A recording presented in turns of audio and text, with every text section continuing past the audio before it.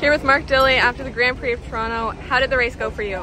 Ah, it was a tough day from the start to finish, but you know it, uh, that's part of the game. You're going to have some good days and bad days. Seems we're having a lot more bad days than good days lately, but you know I'm just uh, we got out there and got into someone and tore it up a bit and overheated, so that kind of ended our day.